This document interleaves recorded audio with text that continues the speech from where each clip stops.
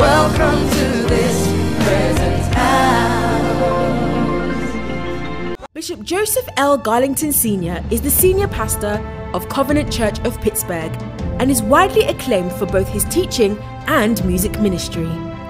He is an accomplished musician, recording artist, author, and scholar, whose work reaches thousands via his weekly television broadcast, national and international conferences, albums, books, and articles. He's internationally recognized in the religious community for his work and ministry in many churches in South Africa since 1979. His preaching and teaching ministry, known for its humor and deep insight, has made him a popular speaker at many national conferences. Bishop Garlington regularly consults for pastors, churches, and organizations that are eager to develop models of racial reconciliation and healing. He is married to Barbara Williams Garlington, and together they share responsibility for seven children, 13 grandchildren, one great granddaughter, and one great grandson. We are excited to receive Bishop Joseph Garlington today at this present house. Let's give him a warm TPH welcome. Are you here? Say, I'm here. Good, so are we. You may be seated. Worship, just great. Thank you so much for being open, your passion for God. It's just a joy to be in a place where people are happy about being saved. Are you happy about being saved? Oh, yeah. Yes, good. You know, I was, I was thinking as we were in worship, I had a dream many, many years ago that um, about my sister having a baby. And uh, the truth was, she was getting ready to adopt one. But in the dream, I saw a picture of the baby. I didn't know that it was going to be her baby, but the baby was so beautiful. The baby's eyes were like uh, eyes of love. You, you, you felt like when you looked into her eyes, you wanted to dive right in to those eyes so full of love. And this is what I sensed this morning with your worship. There was such love in your worship till you just wanted to dive in and just move around and let it wash you. What a tribute to our Lord and Savior with your worship this morning. It was excellent. Amen. You know, I'm, I'm not a singer, but in heaven I'm going to sing. Hallelujah. so until that happens, I carry my singer with me. Father, we thank you for being here in your presence. And we thank you for the Holy Spirit who's going to direct my husband in what he's going to say. So give you praise and honor for this house, for the wonderful pastor and his beautiful wife, and this congregation of believers. And it's evident how much they love you. We love you, Bishop. Preach, preach, preach. Preach, preach. Amen.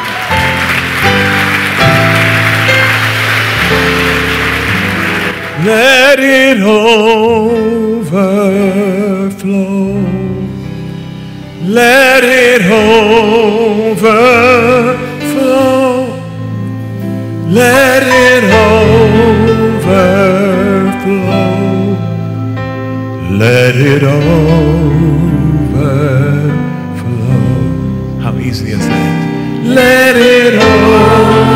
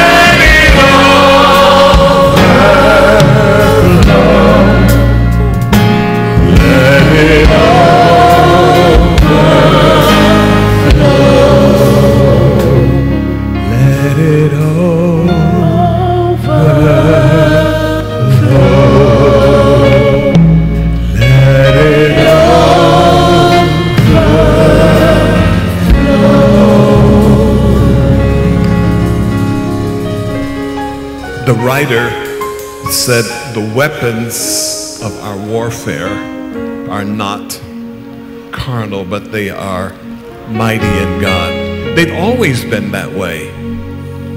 The weapons of our warfare. You remember the story after the rock had yielded water, the Amalekites came. Whenever you get water, the enemy says, I want that water. And so Moses and Aaron and Hur, they go up to the mountain, and Joshua's in the valley. He's doing the fighting. And as long as Moses' arms were, the battle went against the enemy. When his arms came down, the battle went against God's people. Now, Joshua's down here. He doesn't know what's going on. He just knows, hey, sometimes we're doing good, sometimes we're not doing good. He doesn't know that his progress is based upon hands that are lifted. Some people have a hard time with hands, especially evangelicals. They think hands is a, is a charismatic thing. And I tell them, I said, if you walk up to the bank to do a transaction and as you got to the door and got ready to pull it open and you saw everybody in the bank with their hands up, you wouldn't say Pentecostal worship service. In fact, you'd say, I'll come back later. Because hands up are a universal sign of surrender, but they're also a universal sign of victory. They're a universal sign of winning. They're a universal sign. In fact, the Bible says when the children of Israel came out of Egypt, they came out with high hand. High hand lifted. It- you know, it's like saying, We're out of here and we got your money. Hands lifted. The two men who held up the hands, hands lifted. Hands lifted. Oh, as they say in the rap music, you can put them down now. Get your hands up. Get your hands up. Why? Aaron, the priest, Hur, Judah, priest and praise, intercession and praise. You can't lose with that stuff. And so, what happens in the Bible is that we see various kinds of warfare take place. Elisha calls the king to come in, and Elisha's getting ready to meet the Lord, and he says to the king, Take your arrow and shoot it out the window. And he says, That arrow is a, a victory over the Syrians. He says, Now take your arrows and do what? Come on, strike the ground. And so they struck the ground. He struck the ground, and he struck the ground three times. And Elisha was frustrated. He says, Come on, man. You should have struck the ground six or seven times. Then you would have utterly defeated your enemy. Now I'm thinking, Elisha, you didn't tell him how many times to strike. He- yeah, I didn't. I just said strike the ground. I didn't say strike the ground three times. Well, what should he have done? He should have struck the ground until I told him that's enough. We quit too soon. But if you don't quit, you win. I said, if you don't quit, you win. This is how I fight my battles. This is how I fight my battles. This is how I fight my battles. This is how I fight my battles. This is how I fight my battle. This is how I fight my battle. This is how I fight It my look like I'm- gotta, hang on a second. All right, here, say, we say, this is how I fight my battles. We do that six times. And then we say, it may look like I'm surrounded, but I'm surrounded by you. You say, where did that come from? Oh, that came oh. from Second Kings. When the king of Syria found out that Elisha was his problem, he sent the whole army. And the army surrounded Elisha and his servant. And his servant says, We're in trouble. He says, No, no, you're not seeing things. And he says, God opened his eyes. And when he opened his eyes, he saw that they weren't just surrounded, but they were surrounded by chariots of fire. It may look like I'm surrounded, but I'm surrounded by you. It may look like I'm surrounded, but I'm surrounded.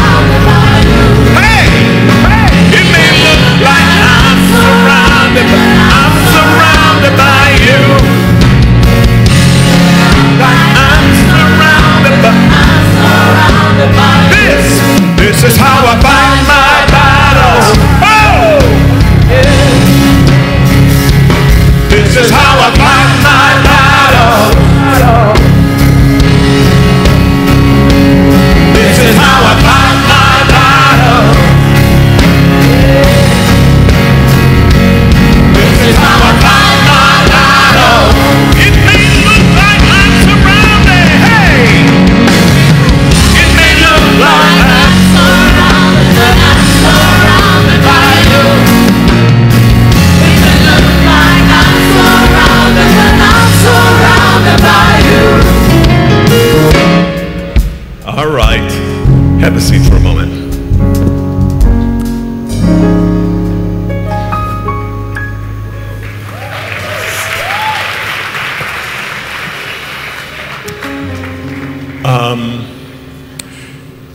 young man living in Brazil, Pastor, I just love you, man. Just, you have this grace on your life.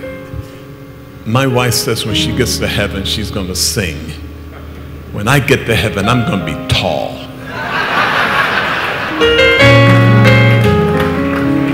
and thin. It's not good to be tall and thick, but tall and thin. A macaw is a beautiful multicolored bird. Brazil has a lot of them. And the young man was living in Brazil and he'd been there for about seven years. And so he said to his friend, I'm not going to get home for Christmas, but I want to do something for my dad. And he said, Why don't you get him a macaw? It can speak words, you can teach it to sing, it can whistle, it can make sounds, and you can even teach it different languages. And he said, Great. And so he searched around the city and found this beautiful bird, and it was capable of two languages Portuguese and English. He says, Okay, I'll buy that for my dad. How much is it? And the store owner said, This is a trained bird and it's going to cost $7,000. He said, Okay, my dad's worth it. He said, Where are you going to send the bird? He said, I'm going to send it to Atlanta. He said, then you're going to have to pay for the inoculation and for transportation. He said, what will that cost? He says, about $3,000, $10,000. He said, my dad's worth it. And so they package the bird, get it all ready, get all the papers signed, and they send it off. Three days after Christmas, he calls home and he says, Dad, he said, Hi, son. He said, Did you get the bird? He said, I sure did, and it was delicious.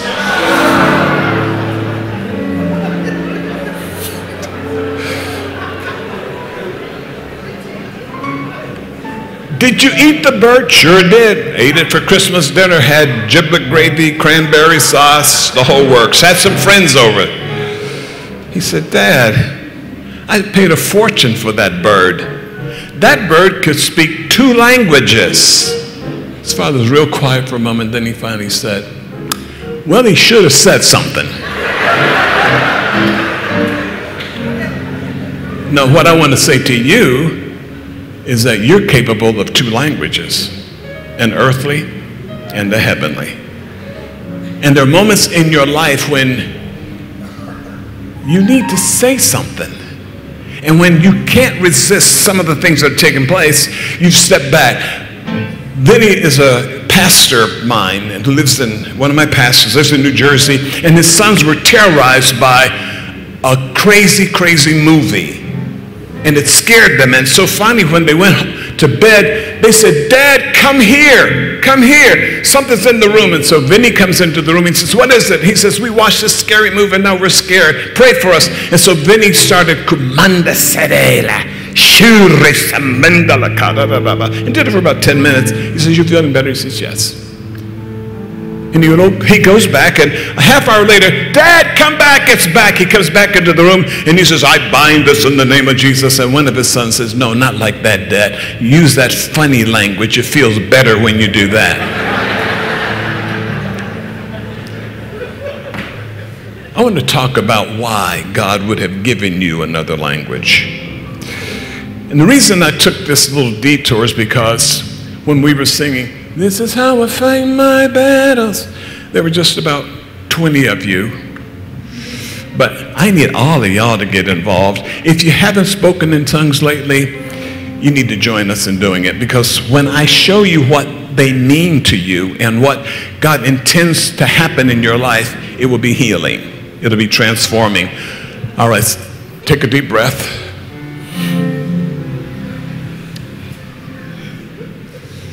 Get ready.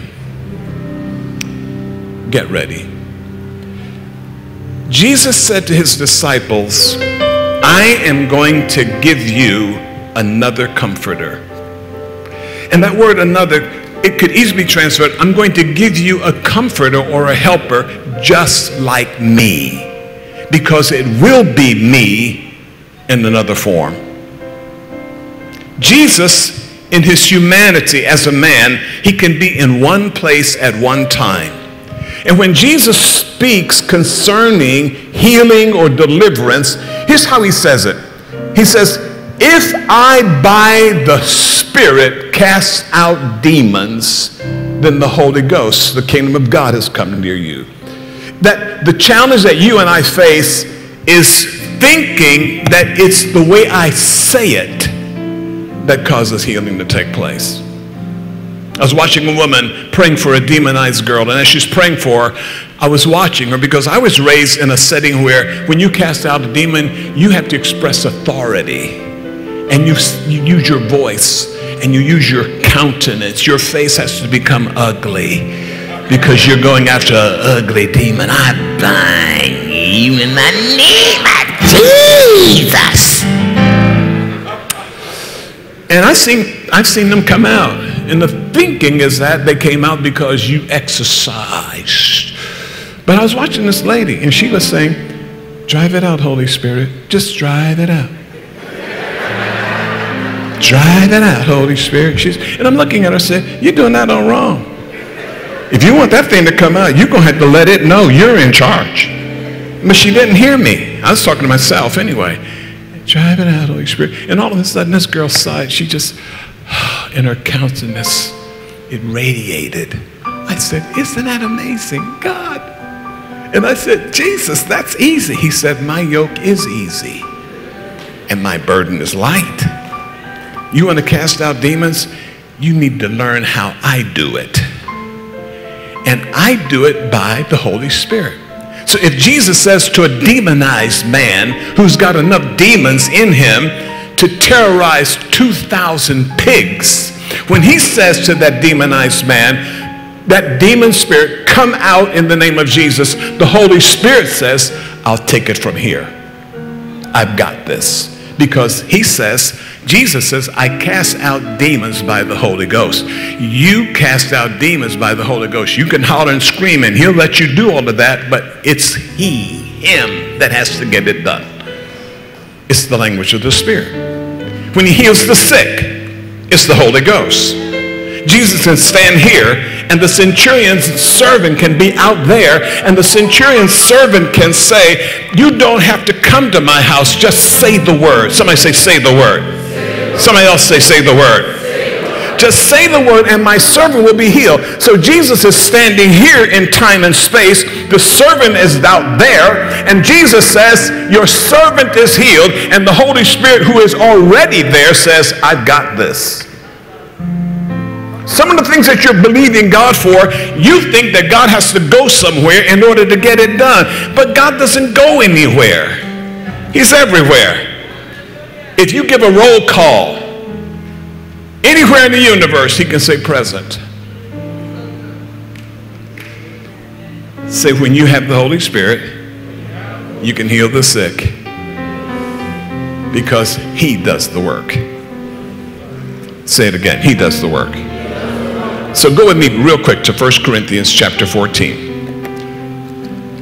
And as Britney Spears said to her second husband, I won't keep you long.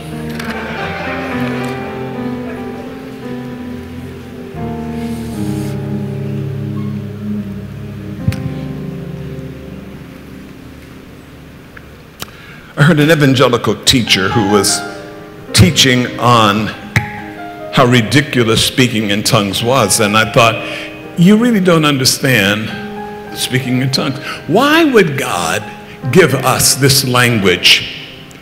And he said that on the day of Pentecost, they used speaking in tongues to preach the gospel. But on the day of Pentecost, Peter preached the gospel but as they were speaking in tongues, they weren't preaching the gospel, they were declaring the works of God. They were telling God how good He is. One of my friends was in Eastern Europe during the, the Iron Curtain days, and he said he was preaching to a small group of people in a home, and he says, I had to be translated three different times. And he said, we were praying for people to receive the Holy Spirit. And he says, I was praying for this little European peasant woman. And as I laid my hands on her to receive the Holy Spirit, she began to say, Oh God, I praise you. You are an amazing God. How wonderful you are. You are awesome. And he said, I said to her, honey, don't speak English, speak in tongues. He said, and then it dawned on me. She wasn't English. She was speaking in tongues, in English.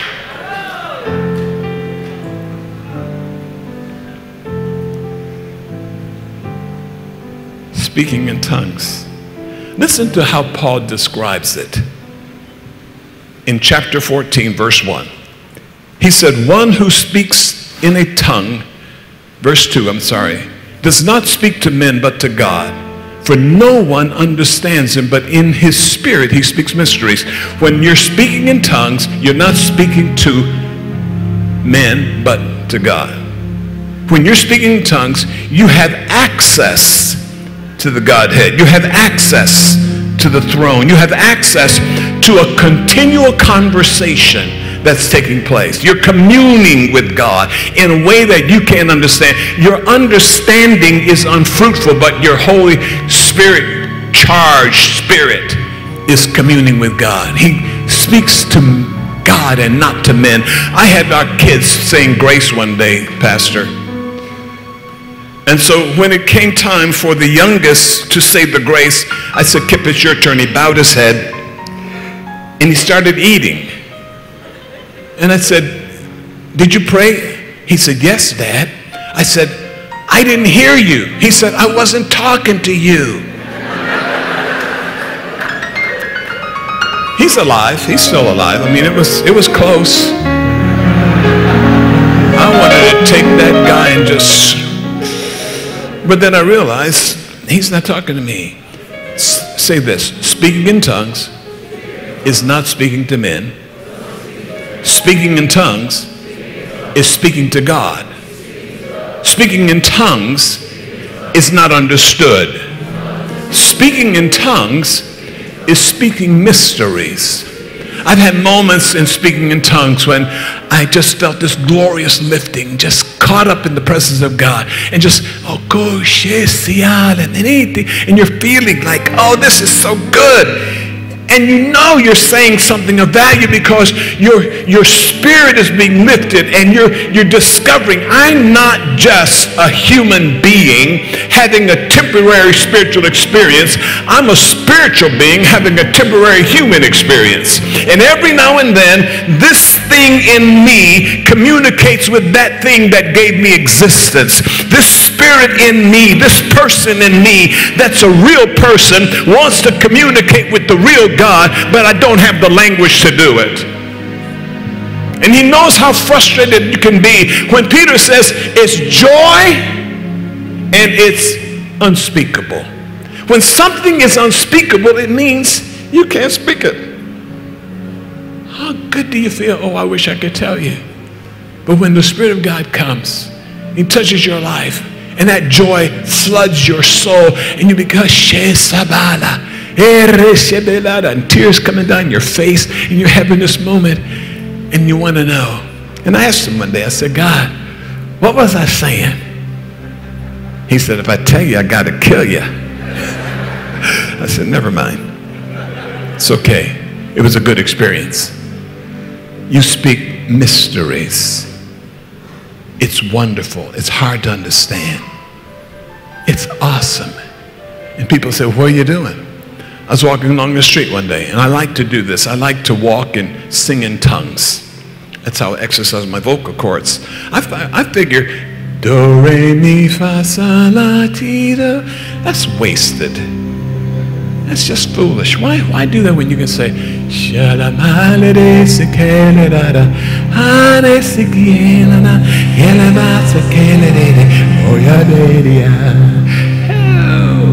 Woo!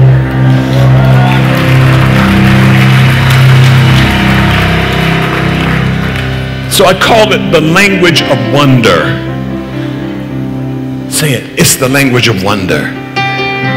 The language of mystery. And then drop down to verse 4. One who speaks in the tongue does what?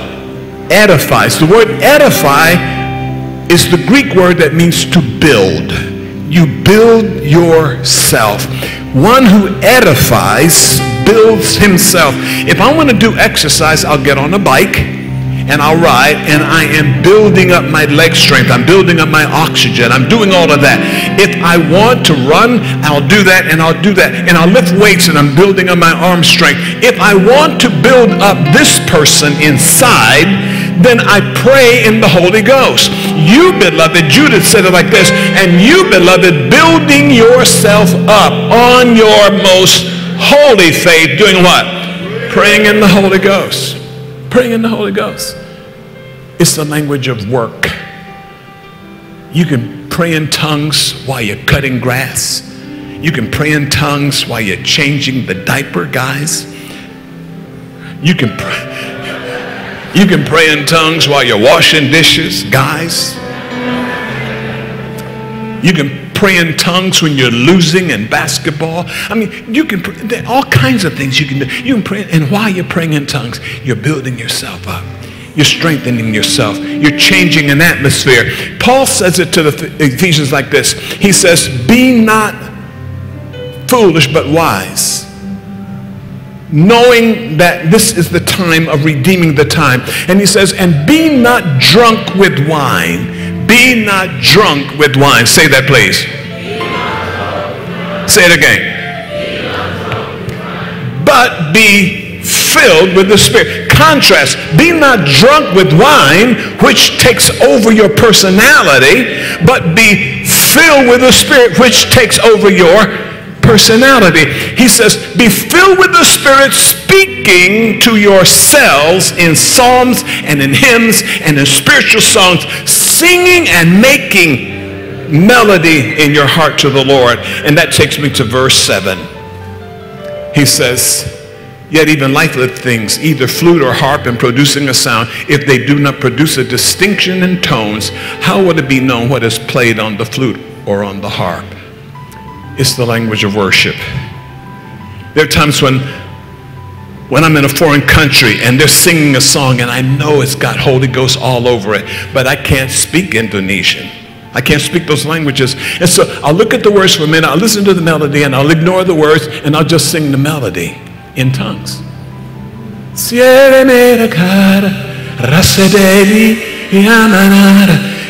You can sing any song you've ever heard in tongues. Any song. Because tongues is the language of worship. I can sing our national anthem in tongues. In tongues, I can sing it in tongues. I can sing an opera in tongues.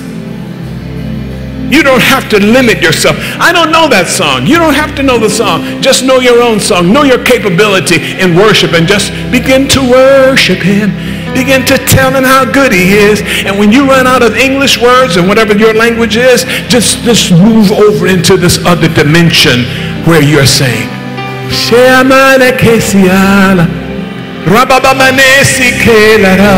just sing in the same key. So we sing a song. You're all I want. You're all I've ever needed.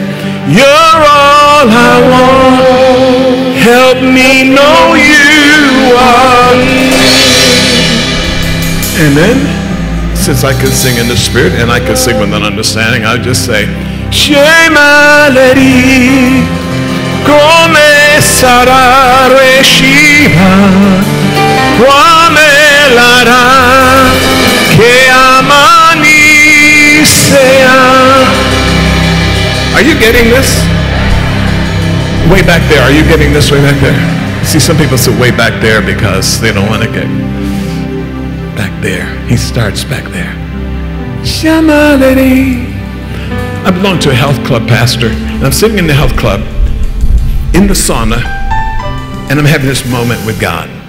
And this guy comes in and he says hello, but he adds some profanity to it. He doesn't say hello, how are you? He says, how in the uh, are you? And I'm saying, I'm okay. And I'm, I'm thinking, I paid money to be here, not to hear that. And I said, God, this isn't fair. He says, change the atmosphere. I said, how do I do that? He said, you see that steam coming out of the pipe over there? I said, yes. He said, add your steam to that steam. I said, what should I do? He said, just sing in the, in the spirit. So I sat there. You got to get there early. And I got there early and I'm sitting.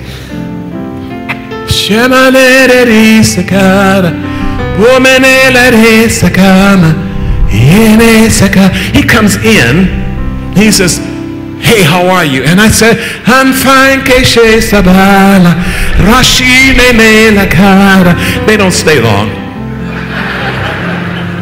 And somebody else comes in. Hey, how's it going? It's think it's going good.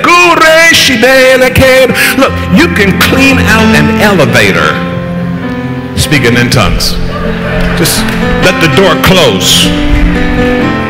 It's crowded and they're pushing on you. Just say, come on, say, boom, boom, boom, boom. It'll be empty. It's the language of worship. Lift your hands. It's the language of worship. It's, it's, it's a gift that God has given you. Just sing a song to him. Just use your prayer language.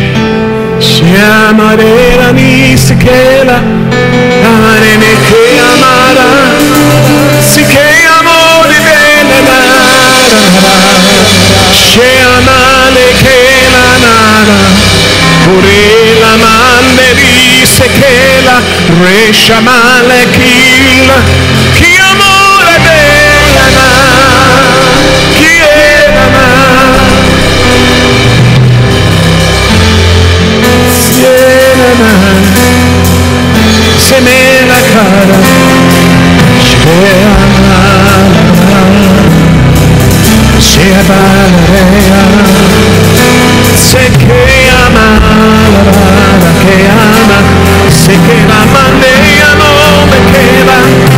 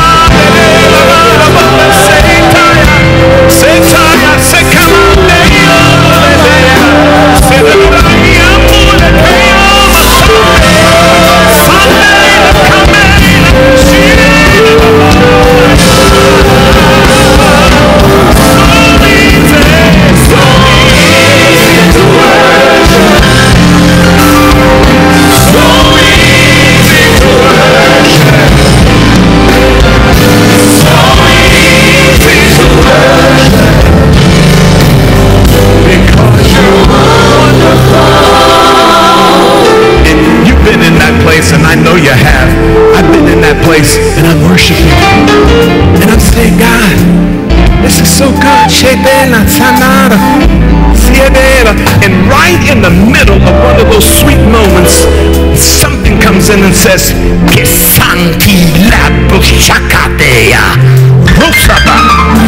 Whoa, what was that? Here's where Paul says, if the trumpet plays an indistinct sound, who will prepare himself for battle? Tongues is the language of worship, but it's also the language of warfare. Because there's some things that aren't going to give way until you come after it in a word, in a language that God gives you for that moment. You don't know what you're declaring, but he knows what you're declaring. He said. I said. Intercessors are the most interesting people. They don't care how they look. Musikinia makatakasaya.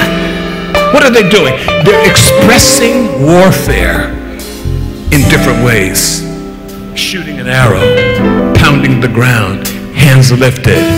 Those are weapons of warfare. Mother comes and she says, Pray for me. My son, he says he's not coming to church. And I said, How old is he? He's 12. Does he live with you? Yes. Sleep in your bed? Yes. You buy his groceries? Yes. Where's his dad? She said, He's gone. I said, Do you have a war tongue? She said, What's a war tongue? I said, It's when you're praying and you say, Kanasele ninikiataba.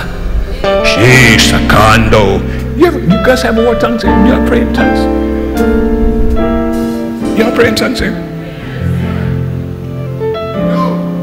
Thank you. Are you speaking for yourself or for the whole group? Shabala Shabalarete musaka shanga sete beata.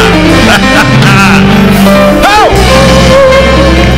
I said to her, I said to this mother, I said, if he says to you one more time, I'm not coming to church, look at him for a moment and point a finger at him like Celie did in the color purple. And just look at him for a moment and just say, Kisane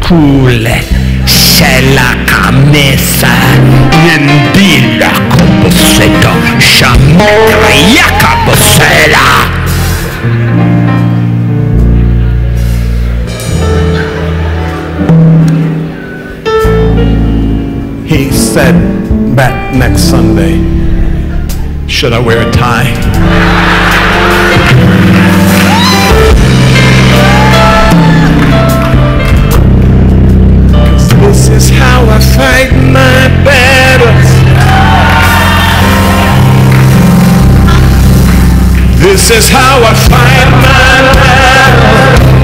Stand up with me.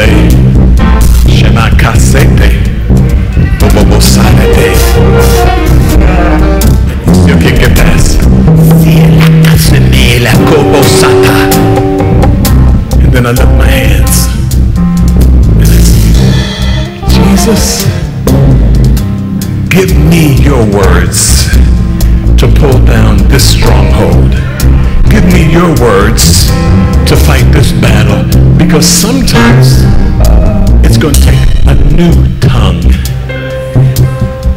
Not the old ha-ta-ta one you had years ago, but the one that says, que me sale de ni da da da. Come and link with someone. Just connect. Pastor, would you come join me?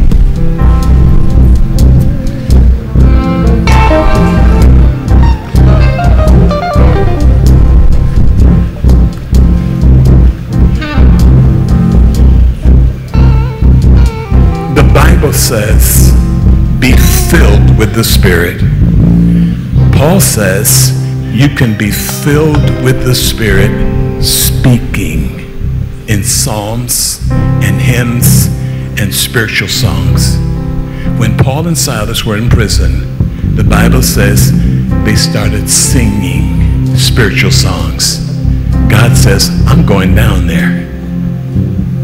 Sing a song that attracts his attention. Sing a song that will get him into your circumstances. Sing a song that will break open the prison doors for you, for your children, and for your nation.